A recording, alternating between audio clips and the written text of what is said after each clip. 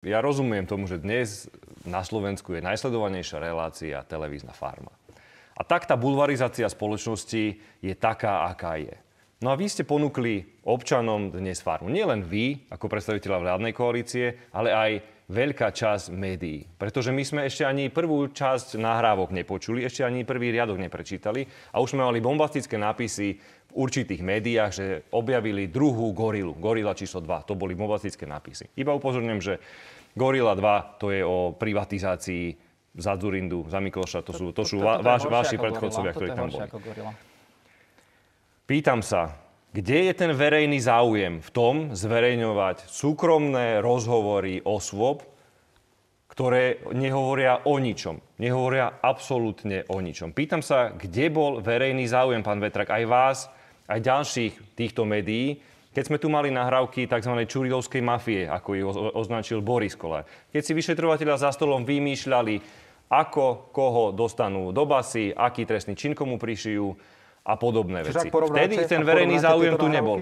Ja, ja žasnem, že o čom to vy, pán Vetrák, tu hovoríte, že my dnes sa tu ideme vôbec baviť o akomsi rozhovore súkromných osob, ktorý bol získaný, ja som presvedčený, že bol získaný nelegálnou cestou, pretože ešte raz sa vás pýtam.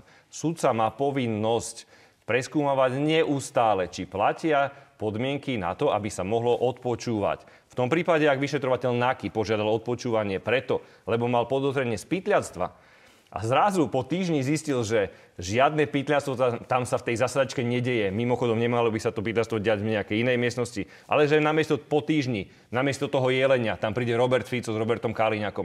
A oni veselo počúvajú, pokračujú v odpočúvaní ďalej.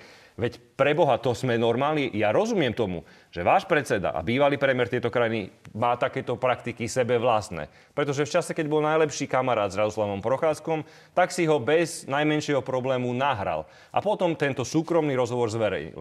Rozumiem tejto analogii, ale ešte raz hovorím, že toto v demokratickej krajine nie je možné. Aby Pane jeden z lídrov opozície bol nelegálne sledovaný a odpočúvaný. A my sa tu ani teraz nepoďme baviť o obsahu to, týchto rozhovorov, pretože ak by som si nahral pán Vetrak rozhovory vás a Igora Matoviča, ako hovoríte o niekom z opozície, ako ho chcete skopnúť alebo niečo podobné, teraz ma para, neberte vážne, ale parafrázujem, a toto by sa niekde dostalo na verejnosti, tak samozrejme pre každého by to bolo zaujímavé. Ale to, kde sme, toto je právny štát, Máme alebo to... toto je Bielorusko, kedy jednoducho za účelom zneužívania akéhosi trestného činu pytliasta vy idete špehovať jedného z opozičných predstaviteľov. Je toto normálne, sa pýtam?